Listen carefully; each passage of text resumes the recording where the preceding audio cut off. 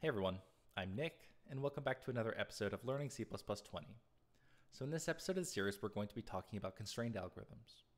So in C++ 20, we're getting constrained versions of many of our STL algorithms living in the std_ranges namespace.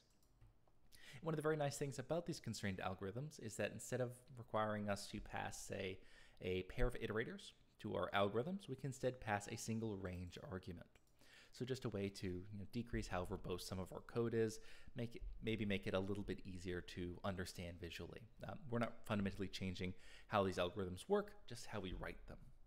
So when we're talking about ranges, we're talking about this range concept here, which defines the requirement of a type that allows iteration over its elements by providing an iterator and sentinel that denote the elements of the range. So what we're really trying to do here is make the fact that you know some type has a beginning and an end kind of implicit. So instead of having to manually pass in to std sort, you know, beginning of a vector, end of a vector, we can instead just pass in our vector, and it's implied, you know, that it has this beginning and end iterators. So let's go ahead and take a look at a couple examples here of how we can say update, you know, calls to you know traditional STL algorithms with these constrained algorithm equivalents. So let's take a look at this STL um, sort uh, program here. And all we're really doing is using two algorithms, std generate and std sort. So I create a vector of integers here uh, of 20 integers. I use this uniform int distribution and std generate to go ahead and fill this vector with 20 random numbers between 0 and 255.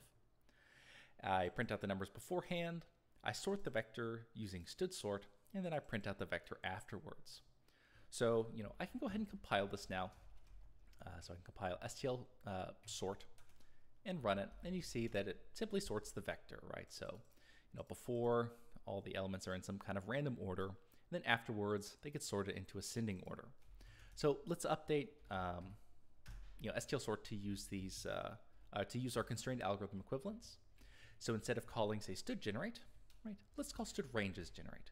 Right. So from the ranges namespace, I can get rid of this uh, beginning v or begin v and end v now, and I can just pass in a single range argument, right? So now it's implicit that you know vector has a beginning and an end iterator sentinel pair.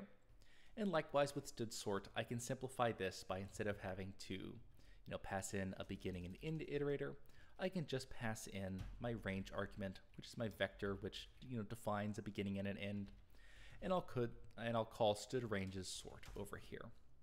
So we have a little more expressive way to write this code now. I can basically say, I want to sort the vector. I don't want to, I don't have to say anymore, I want to sort from the beginning of the vector to the end of the vector. So it's a little less verbose here and maybe a little more expressive. So I can go ahead and recompile this again using C++20 and you see I get the same result here, right? So I have an unsorted vector beforehand of random elements and then I have a sorted uh, vector in ascending order afterwards. Right, so just one use of our, or two uses of our constrained algorithms. And we can do the same thing with a call to say std max element here. So here I've got a call to std generate. So again, all we're doing in this example is creating a vector of random numbers and then trying to find the max element here, right, using std max element. So again, we can decrease how verbose this is by instead of, you know, calling std generate, I can instead call std ranges generate and get rid of this, you know, begin v, end v, and just pa pass in a single range argument. In this case, my vector v. And likewise down here with std max element, instead of calling std max element, I'll replace this with std ranges max element. And instead of passing in this iterator sentinel pair here with beginning and end, I can just pass in, say, v. And I get the exact same result. So here I'll go ahead and compile um, STL max element and we go ahead and print it out and you see that we have a bunch of random numbers in V and then STL ranges max element finds the maximum uh, number. Well, it finds a iterator, it get, returns an iterator to the max element and then we dereference it. So 252 here, 252 here, the maximum number inside of this vector.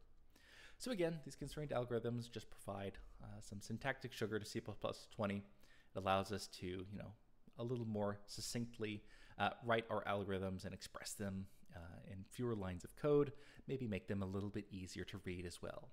But that's going to go ahead and do it for this video. As always, you can find any of these examples at github.com slash coffee before arch. under the C++20 uh, samples repository. But that's going to go ahead and do it for this video. As always, I'm Nick, and I hope you have a nice day.